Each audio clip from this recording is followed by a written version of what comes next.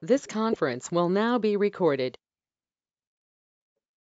Today I will be demonstrating FortiGate SD-WAN with ADVPN, creating ADVPN shortcuts between branch sites. First, we will be initiating a call from Spoke 1 Ubuntu server to Spoke 2 Ubuntu server.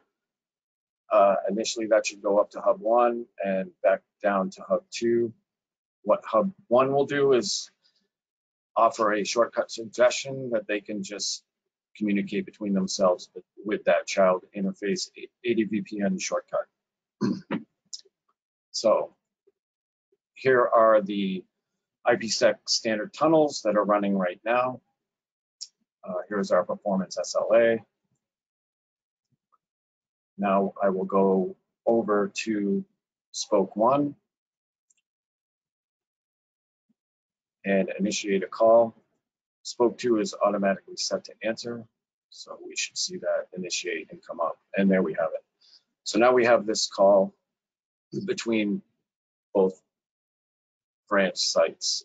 if I go back to spoke one, FortiGate, we should now see that tunnel has been established under IPsec monitor. And there it is, the shortcut child interface. You can also see this under the CLI. Up at the top here, you see that shortcut has been established. You can also do that with the SD-WAN command, diag sys virtual WAN link member. And you'll see that child interface under the, the main interface of INT1 DC1. Now we can introduce delay to make that fail over and have that be seamless. Now, if I go to FortiView sources, I will see that that call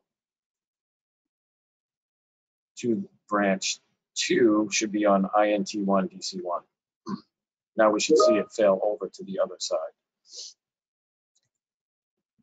I will introduce delay on that current overlay and introduce delay of, say, 300 milliseconds. Apply, save. Now going back to the performance SLA, we should now see that being in violation. And there it is.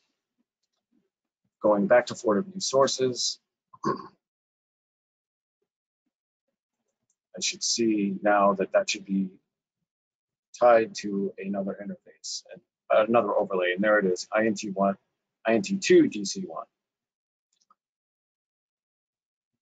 Going back here to the CLI, we can, with the SD-WAN command, we can actually see, we should see that S child interface show up under INT2 DC1.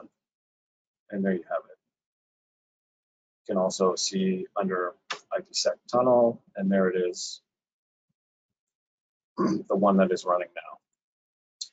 If we go back to spoke one, we can see that that call never dropped. And there you have it.